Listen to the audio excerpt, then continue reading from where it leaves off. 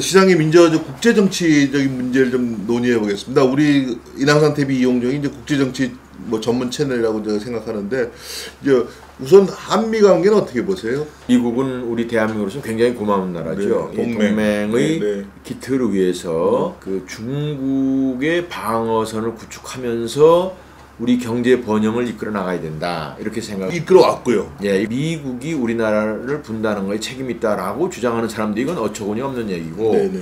김일성이 6월 25일 날 새벽에 기습 남침이어서 네. 우리 방어 태세가 안 돼 있는 상태에서 네. 유엔에서 긴급 결의를 해가지고 네. 와서 그해 9월 15일 날이죠 인천 앞바다에서 네. 어, 상륙을 했고 V8 수복을 하면서 우리가 반전이 된 건데 그쵸. 뭐 미국이 무슨 어, 북침을 하려고 그래서 시작한 것도 아니고 네. 만약에 그때 안 됐으면은 우리 지금 대한민국이 북한처럼 사는 거예요. 그렇죠. 아, 북한이 지금 세계에서 제일 못 사는데 북한처럼 살길 원하느냐 이거야. 네. 대한민국이 번영을 하는 만큼 북한도 우리 동포니까 네. 공존을 하면서 북한의 경제를 업그레이드 시키고 북한 지도자들이 각성을 해야 되는 방향으로 가야 된다. 저는 그 우파의 시장을 지낸 사람으로서 평양을 두 번 갔다 왔습니다. 네, 네. 가서 그때도 베트남식을 추천을 해봤어요. 그랬더니 굉장히 화를 내더라고. 경제는 자본주의처럼 하면서 지도 체제를 공산주의 체제로 하는 거예요. 국민들은 자본주의 체제를 하기 때문에 안정된 상태에서 발전을 하더라. 그러니까 니네도 그런 어, 유형을 한번 해봐라 이랬더니 왜 싫어요? 왜 반대합니까? 김정은이 지금 하노이 갔을 때도 열심히 구경을 하더니. 내가 갔을 때 이제 김정일 시대거든. 네네. 어, 사실은 제가 김정일이가 보내온 비행기로 북한에 갔다 온 사람입니다. 네. 2005년 5월 30날 북한에 갔다가 한 4박 5일을 하고 내려왔는데 네. 왜 그렇게 됐느냐 노무현 대통령이 당선되고 나서 박지원이를 구속을 했어요 5억 불 네네네. 북한에다 갖다 줬다고 그래가지고. 네. 대북 송금 때문에 김정일이 하고 네. 이 노무현이 하고 사이가 안 좋았어 네. 그래가지고 한 2년 동안을 남북 관계가 이제 그 교착 상태야. 그런데 2004년에 나한테 정부에서 그 당시 노무현 정부에서 어떤 연락이 왔느냐면 6.15 선언 4주년 기념 행사를 인천에서 하라 이렇게 연락이 왔어요. 네. 북한에서는 그 당시만 하더라도 지금도 그럴 거예요 아마 6.15 선언에 대한 것을 금과 억조로 생각해. 6.15 선언은 김정일이와 김대중이 김대중이가 공동선언한 거. 2000년 6월 15일 날 네, 네. 그 선언을 한 거예요. 네. 김대중 대통령이 평양에 가서 6.15 선언 기념 행사를 2001년에는 평양, 2002년에는 서울, 2003년에는 평양, 네. 2004년에는 남쪽에서 하기로 돼 있는데 인천 사라. 아 인천서 해라. 네. 노무현 정권의 계획은 울산이나 전라도 광주에서 하기로 원했어. 네. 그게 해방군이. 그런데 북한에서 너무 멀다. 아. 안 된다 해서 이제 인천에서 걸 내가 수용을 한 거예요. 네. 그래서 내가 이제 그걸 행사를 잘 치러줬거든. 그랬더니 그 해 10월쯤 김정일이가 나를 초청을 했다는 거야. 아, 행사 끝난 다음이군요. 아, 행사 끝난 다음에 네. 음. 북에서 나를 초청을 한 거야. 왜? 내가 기왕에 하는 김에 잘해줬거든. 네. 그랬더니 안상수를 북한에서 초청을 한 거야. 그래서 나는 뭐 바쁘기도 하고 내가 특별히 거기 가야 될 일이 없다라고 네. 생각해서 차일피일 하고 있었는데 우리 인천이 아시안 게임 유치 도시로 결정이 돼. 네. 한국에서 인도의 델리하고 인천이 경쟁이야. 네. 그러니까 Olympic Committee of Asian Game OCA에서 결정을 하는데 그 당시에 OCA에서는 아, 우리 인천을 페이스메이커 정도로 생각을 한 거야. 아. 아, 왜냐하면 델리가 말을 안 듣거든. 아시안 게임 유치도시인데 뭐 그러면 돈도 갖다 내야 되고 무슨 시설도 해야 되고 기부도 해야 되고 그러는데 이걸 말을 안 듣는 거야. 저희들이 당연히 다 딴 것처럼 해서 우리를 페이스메이커로 생각을 한 거야. 그래가지고 이제 OCA에서 이제 델리한테 뭐 받아낼 걸 더 받아내려고 시작을 했는데 나는 욕심이 생기잖아요. 인천시장으로서 아, 이걸 해야 되겠다. 네. 이래서 아이디어를 낸 게 아 그럼 평양이랑 인천이랑 공동 주최하면은 되겠구나 이래가지고 그렇게 의제를 올려 보냈더니 좋다는 거야. 어 근데 어, 심양 음, 쪽으로 해서 오라는 거예요. 그래서 난 안 가겠다 그러면은 아이 뭐저 정주영 씨도 뭐 소떼 몰고 왔는데 우리 버스 타고 가자. 왜냐면 내가 개성공단에 여러 번 갔었거든. 네. 인천 개성공단에 인천 기업들이 꽤 많아서 네. 몇 차례 갔었어. 그랬더니 한참 기다렸더니 비행기를 보내겠다는 거야. 음. 그래가지고 고려 민항 비행기가 왔어. 네. 와가지고 3파선을 바로 질러서 갔어요. 네. 그 전에 비행기는 예, 칼이나 아세아나는 이렇게 산동 쪽, 쪽으로 갔다 이렇게 네. 돌아서 가고 그랬었거든. 왜냐면 군사부 공개선이니까. 그런 최초의 내가 그 그때는 아직 유엔 제재가 없었나 보죠. 유엔 제재가 있긴 있었는데 네. 단계가 낮은 거고 네. 그래서 이제 순환 비행장에서 내려가지고 그때 무슨 일이 있었느냐면 아주 좋은 질문했는데 그때가 반기문 외교부 장관일 때야 근데 나 내가 이제 북한에 간다 그러니까 2년 만에 가니까 완전히 남북 관계가 대들록 상태에서 대통령 비서실장 정동영 통일부 장관 아 무슨 체육부 장관 공동 개최 문제를 하니까. 네, 네, 그다음에 이제 에, 외교부 장관한테 연락을 했더니 반기문 장관이 나한테 한다는 소리가 노무현 정부에서 그 북한하고 굉장히 긴밀하게 협조하려고 그러는데 에, 왜 이렇게 에, 그야말로 상대를 안 하고 통미봉남으로 어, 가느냐. 뭐 대화를 트자 라는 식으로 좀 전해달라는 거야. 그러면서 이게 정부의 의견이다. 정부에서 주문하는 거다. 이렇게 해서 내가 그 의제를 또 올렸더니 내가 평양에 갔더니 평양시당 부위원장이 나와서 나를 영접하는 거야. 그건 평양시당 부위원장이 굉장히 높은 자리예요. 평양시당 부위원장한테 반기문 장관이 한 것을 전했어. 네. 전하고 그리고 나는 이제 한 4박 5일 동안 쭉 같이 이렇게 있었는데 이제 나중에 올 때 거기서 이제 대답이 왔어. 이제 이 사람들은 낮에 계속 우리랑 다니다가 밤에 가서 김정일이한테 보고를 하는 것 같더라고. 그렇죠. 어, 일꾼이라고 그래요. 그리고 밤 그 밤 그 밤중에 가서 이제 보고를 하는 거야. 그 오는 날 아침에 조건이 왔어요. 그 이제 6.15 선언의 기조 아래 첫째, 두 번째 북미의 대사관을 교환하고 그 다음에 경제 봉쇄를 해제하고 우리 김정일 위원장을 axis of devil 그거를 내가 악의 축 악의 축이야. 그리고 폭군 폭군이라고 부르지 어, 말아봐. 그래, 부르지 마라. 그래서 그걸 전했더니 이제 외교부 장관 반기문하고 정 정동영. 정동영, 네. 장관이 알아듣고 했는데 내가 또 어떤 역할까지 했느냐면 그러고 나서 바로 어, 6월 6일을 끼고 현충일 공휴일 아니에요. 네. 미국에 갔는데 코리아 소사이어티 그레그 대사라는 분이 있어. 한국 대사였던 분인데 그 사람이 유명하신 북한 통이야. 뉴욕 갈 때는 그분한테 가끔 연락을 했거든. 네. 그랬더니 전화를 했더니 어 당신 UPI 통신에 보니까 평양에 가서 갔었다면서 이거야. 어 그렇다고 그랬더니 어, 무슨 얘기했어? 그래서 아 내가 저 반기문 장관이 얘기해서 북한에서 이러이런 조건을 네. 전달을 했다 그랬더니 아 그러면은 자기가 그 심포지움을 마련할 테니까 와서 기조 발제를 하자는 아, 거야. 네네. 컬럼비아 대학에서 네, 네. keynote speech를 했는데 네. 그대로 전했지. 네네. 어, 6.15 선언의 기조 아래서 음. 어, 북미 예, 대사급 교환하고 평화협정을 맺자고 그러더라고. 네. 평화협정 맺고 북미 예, 대사관을 어, 개설하고 뭐 등등 이렇게 얘기했더니 어, 그럼 그거를 힐 차관보한테 전달하는 거야. 네네. 그 당시 힐 차관보가 육자회담 대표야. 크리스토퍼 힐인가 그랬죠. 맞아요. 네네. 어, 머리 좋네. 아닙니다. 제가 전공이 그건데. 아 그렇군요. 사실 이 얘기는 내 책에도 간단하게 써놓긴 네, 네, 했는데 네. 이렇게 매체에서 자세히 설명을 한 적이 없는 것 같긴 해요. 네. 이것 역사야. 왜 그러냐면 힐 차관보한테 연락을 하라고 그래서 내가 힐 차관보를 알지도 못하고 열- 소통이 안 되는데 그랬더니 자기가 메일 번호를 주겠다는 거야. 어. 그래서 내가 그 스토리를 메일로 보냈어. 어, 알았다 이렇게 연- 전갈이 왔고 그래서 그 알았다는 내용을 내가 북에다가 다시 전달을 했어. 그래가지고 네. 육자 회담이 다시 열리는 거야. 네. 그래서 2005년 9.19 선언이 나오는 겁니다. 네네. 9.19 선언의 단초를 안상수 전 인천시장이 푸른 겁니다. 네. 그래서 어, 역사적인 그 일이 있다는 6.15 것을 선언과 9.19 선언에 연결되는데 중요한 역할을 하셨네요. 그렇습니다. 그래서 지금도 사실은 9.19 체제로 지나가는 겁니다. 네네. 9.19 체제에서 변화된 게 없어. 북한 비핵화라든가 한반도 비핵화 뭐 이게 나오고 그러는데 어떻게 푸시겠습니까 대통령이 되시면? 아, 나는 그 이제 남북 관계에 있어서 네. 어, 이것을 풀어나는 것은 우리 남쪽 혹은 대한민국의 우파가 돼야지 이것이 가능하다라고 봅니다. 이 좌파들이 하면은 그러니까 좌파들은 우파가 되면 안 된다. 아. 해결 안 된다 그럴 거예요. 아, 그렇 거꾸로. 그렇게 생각할 수 있는데 그렇게 질문할 거예요. 좌파들이 하면은 우파가 이걸 용인을 안 해요. 네. 그런데 네. 좌파들은 어쨌든 북하고 무조건 같이 가려고 생각하기 때문에 네. 우파적 우파가 주도적으로 해서 가면은 그거를 오케이 할 수가 있어요. 음. 어? 수용을 할 수가 있다는 거죠. 그 그런데- 우파가 약간 어느 정도 타협안을 마련하면 좌파도 인정할 수 있다. 그렇지, 그렇지, 그렇지. 이- 요점이시죠. 근데 좌파들끼리 하면은 네. 이게 무슨 꿍꿍이 속이 있나 해서 우리 네. 우파가 이제 수용을 안 하는 거야. 네, 네. 그래서 나는 어떤 생각을 해보느냐 하면 내가 대통령이 된다면 네.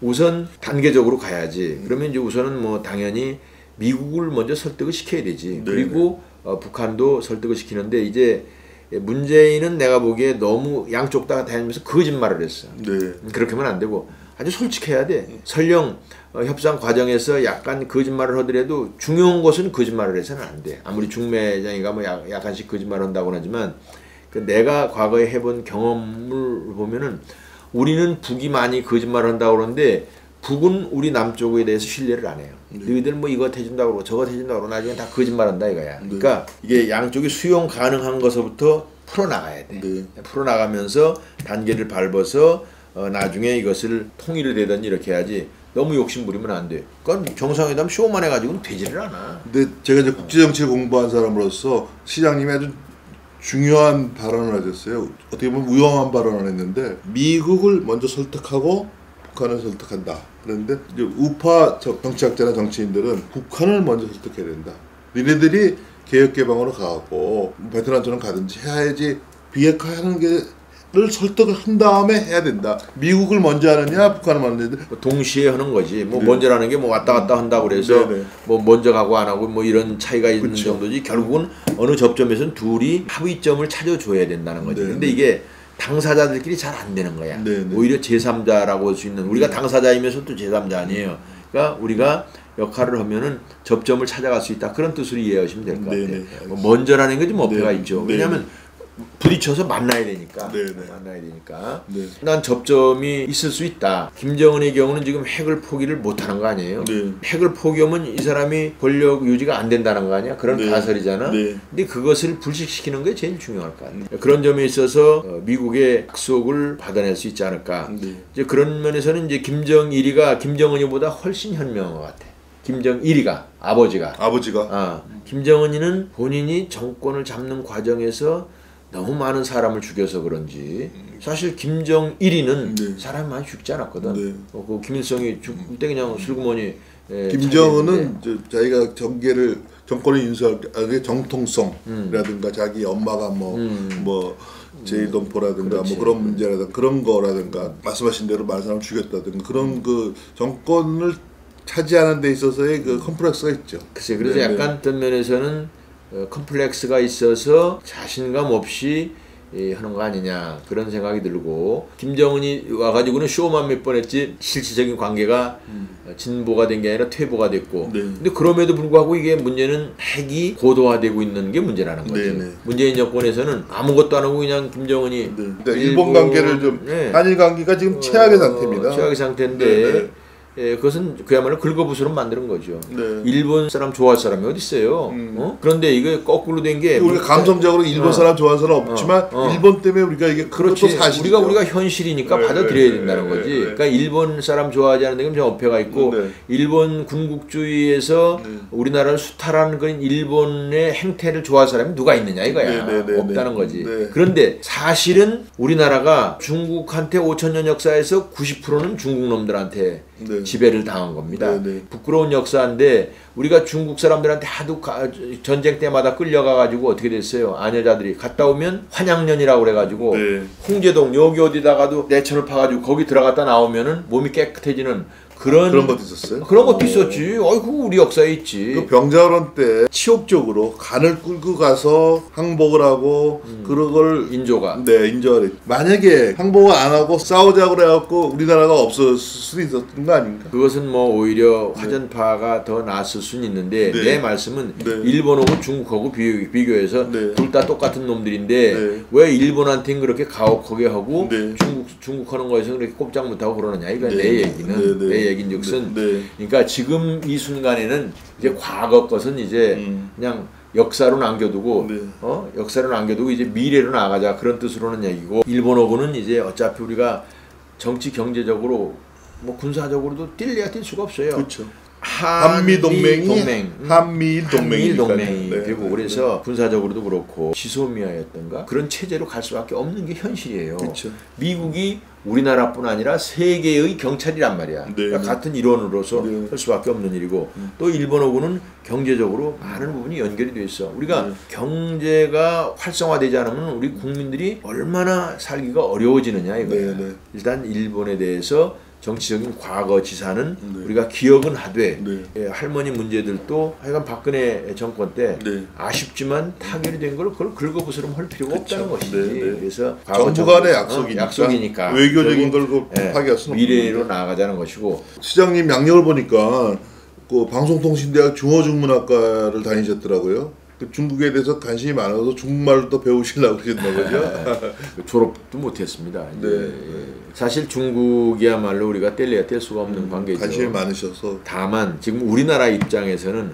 과거와는 다르다. 네. 과거는 중국, 일본, 러시아 네. 강국의 틈새에 있다는 것이고 특히 이제 중국과 일본의 사이인데 네. 이제는 미국이라는 음. 새로운 강자가 등장을 한 거예요. 네네. 어, 네. 한 100년 전서부터. 네, 네, 네, 그렇죠. 그러니까 전략적으로 본다면 음. 어, 어차피 미중이 경쟁 관계에 있다면 우리는 미국 편에 설 수밖에 없다. 그렇죠. 아, 미국 편에. 한미 동맹이 미- 어, 중요하니까요. 어, 미국은 우리를 전략적으로 이용하지 하는데 중국은 우리나라를 먹으려고 그러는 거거든. 동북 공정서부터 해가지고 네. 우리나라를 하나의 자기네들 영토에 무슨 어, 티베트나 뭐 이런 데처럼 하려는 야욕이 있는 건 사실이야. 그건 우리는 용납을 못하는 거지. 그런 건 용납 못하지만 우리가 경제적인 교류는 네. 그렇죠. 해야 된다. 그렇죠. 그래서- 안보적인 문제는 아, 그게 이제. 어려운데 네. 그래서 경제적인 것은 이제 양쪽이 이제 하는데 사실은 네. 내가 1992년에 한중 수교가 된 상태에서 97년인가 중국에 갔었는데 그 당시에 내가 직사 대접을 받았어. 내가 경제를 좀 안다고 그래가지고 어. 저 인천시장 하고 나서도 어, 웬만한 성하고 다 우리가 자매 오도시가 되고 성장 시장들하고 교류가 많았고 그랬었는데 그 상하이 시장하고도 굉장히 친하게 지냈는데 네. 2007년 8년쯤에 갔더니 야 문 밖에서 기다리게 하더라고 물론 뭐 상하이 시장이야 외국의 원수들이 와서 네. 어, 만나자고 약속을 이제 잡고 이러는 판이니까 네네. 내가 무슨 얘기를 하려고 그러냐면 우리나라가 5천년 역사상 중국한테 잠깐이라도 어, 대접을 받은 것은 1992년 하면서 그 다음에 2000년 정도까지야. 네. 2010년 네. 그 30년 동안 5천년 만에 유일하게 그게 사실은 박정희 대통령 덕분이지 네. 그렇게 해서 경제가 발전되기 때문에 그런데 네, 네. 지금은 저 사람들 마음속에 우리는 속국이야 그리고 더군다나 저 문재인 대통령이 너무 엉터리로 외교를 해가지고 네. 어, 완전히 뭐 이번에 코로나도 네. 우한에서 발생했을 때 네. 이것을 우리가 중국 사람들 못 들어오게 막아야 되는데 네. 결국은 그렇지 못해서 굉장히 피해를 보고 네. 경제 정책에 있어서도 일방적인 어떤 피해를 보고 있는데 네. 어떻게 해야 되느냐 미국하고 한미 방위를 하되 네. 경제만 잘한다 이게 충돌이 되는 거야 네, 사실은 네, 중국 네. 사람들이 생각하면 불쾌하지 네. 미국을 또 설득을 시켜서 우리가 공격형의 이런 동맹 관계는 이제 안 되고 네. 우리가 수비형 네. 수비형은 우리가 적극적으로 동참하겠다 네. 사드가 뭐 핵무기 방어 시스템이니까요. 공격 시스템이 아니고요. 예, 예. 그렇죠? 그래서 우리가 이제 중국 얘기하고 미국 얘기하고 북한 얘기도 했는데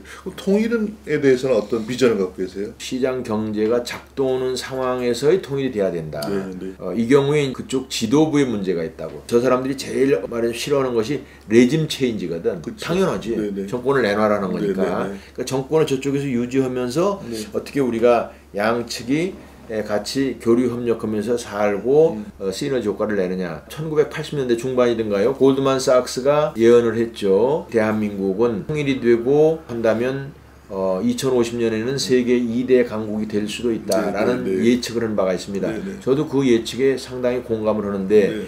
우리나라가 네. 아, 지금 가지고 있는 기술력과 세계적인 네트워크, 금융 네. 이것과 북한의 저렴한 노동력과 아, 땅 그리고 많은 자원 음. 이것이 그 연결이 되고 그러면서 800만 디아스포라 그러니까 동포가 해외 동포가 연결이 된다면 얼마든지 세계 의 강국 정말 G2는 아니더라도 네. 3, 4위까지 갈 수도 있다라는 것이죠. 그래서 이런 비전을 놓고 어, 지혜와 전략을 가지고 가면 된다는 것인데 이것을 김정은이가 자기 체제에 대해서 위험을 안 느끼면 갈 수 있는데 우리가 김정은이를 밀어내지 않아도 음. 만약에 이게 어느 정도 경제 수준이 업그레이드가 되면 네.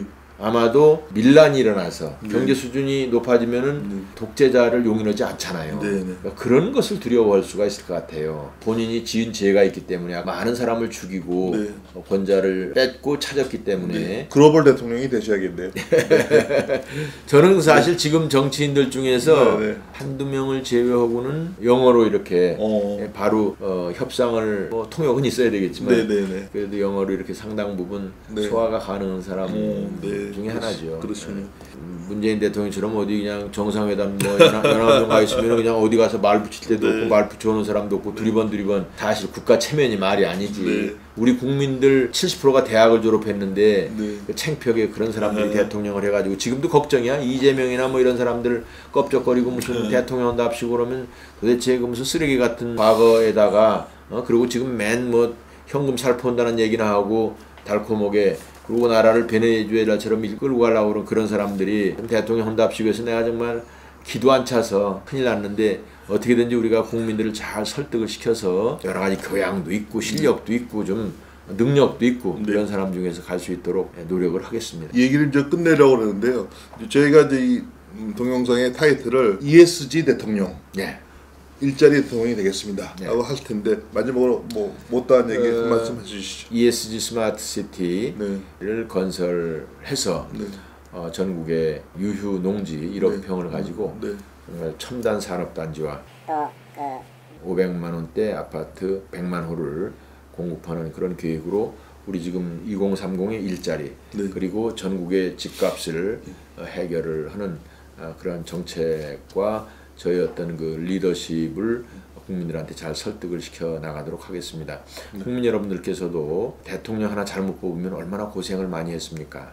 민주당 사람들은 볼 것도 없어요. 문재인 two 해봐야 더 미래가 없고 돈 나눠준다고 하는 게 전부 다 거짓말이고요. 또 우리 자식들 돈 끌어다 쓰는 겁니다. 그래서 안 되고 우리 당이 정권을 잡지만 리더가 중요합니다. 저 안상수가 어, 송도 국제도시와 인천 대교를 건설한 리더십으로 어, 우리 국민들의 에, 2030의 일자리, 주- 국민들의 주택 문제를 해결을 할 수 있는 그런 기회를 주시면 반드시 성취해서 우리 국민들이 새로운 대한민국에 살 수 있는 그런 어, 기회를 함께 하도록 하겠습니다. 시장님 장시간 감사합니다. 네네.